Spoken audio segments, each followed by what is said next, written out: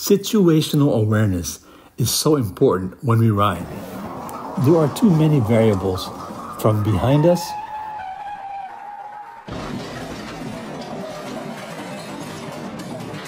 as well as in front of us to make us crash. We need to know what's all around us always. Let's face it, we are tiny objects on the road. We need to be proactive to optimize our safety. Vigilance, visibility, and Vision 360 are key to EUC safety.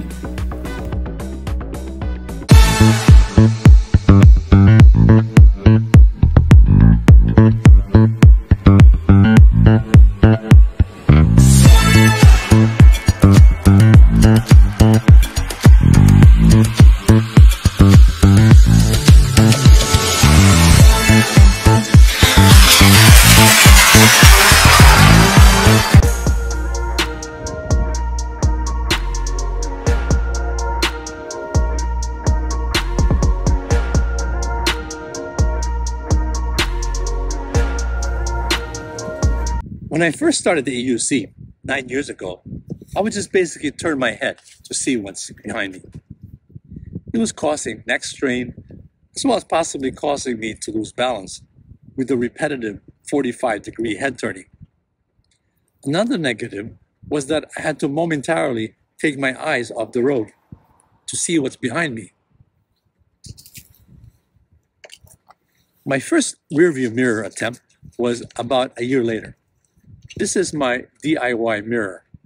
Basically, I fashioned this mirror taken out of a bike handlebar and I attached an elastic strap behind it for securement. I would just raise my hand, I would raise my left hand to see what's around me. Simple, effective, and it worked.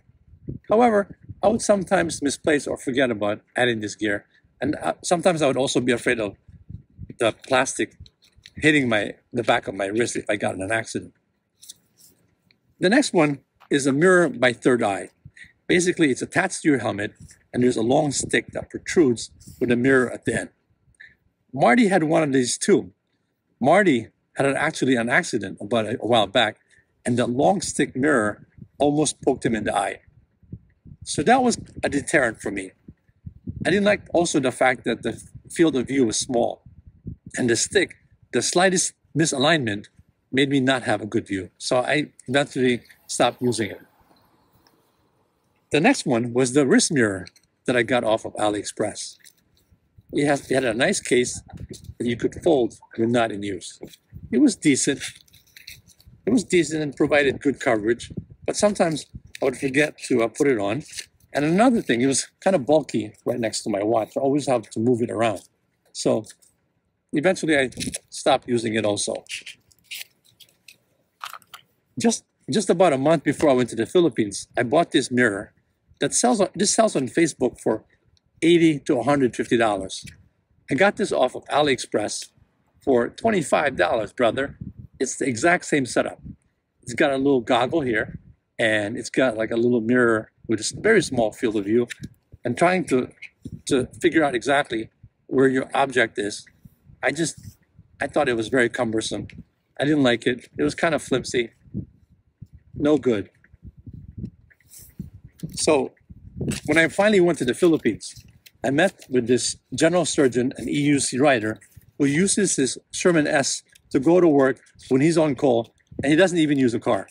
Anyway, I actually interviewed him. If you're curious, you should check out my interview, uh, interview with EUC rider in the Philippines. So this mirror has to be convex to make it work. It's attached with an elastic strap right in the top, and it's actually very secure. So when you purchase this mirror, the strap comes with it, and it provides a really good strong grip. You don't have to worry about a long stick poking you in the eye. You don't have to worry about forgetting to put it on because it's always there. So you just put it on, and you're set. I have a perfect view already. It's a great setup. I love it. So let's see using this gadget, I'm gonna put it in the middle of my eye and I hope to show exactly what I, to show you the viewers what I see. I can see everything on my left side. And hopefully you can see it. I'm gonna move a little more to the right to see if you can see the Belgian blocks. I can see the Belgian blocks and I have a lot of view when I turn my head. So we have great range of view with this setup. Now comes the real test on the road. Will the simple securement using the supplied rubber attachment be enough to keep the oval mirror secure and immobile during at speed riding? Will I be able to see an oncoming car from behind early enough? Well, let's play a game. As soon as I see a car on my rear view, I will make this gesture with my right hand. Let the test begin.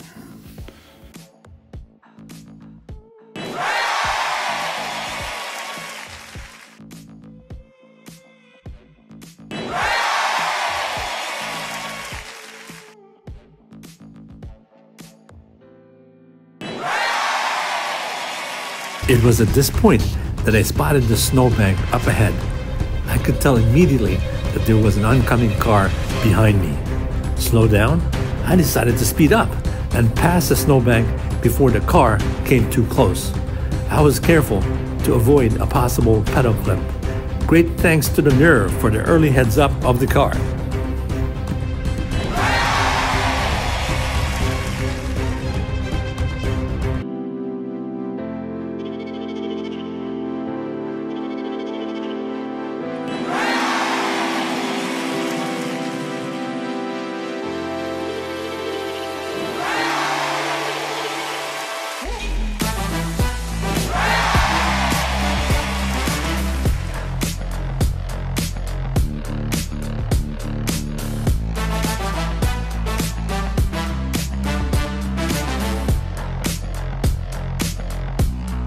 This DIY has much wider range of view, minimal head turning needed to see, less time taken away to see what's up ahead.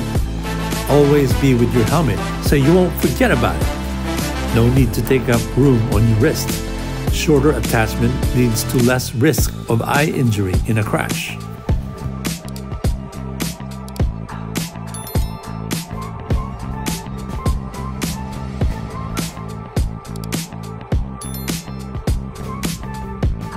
Great job, Henry, on the DIY mirror helmet. This is the best one I have ever seen. So, thanks for watching.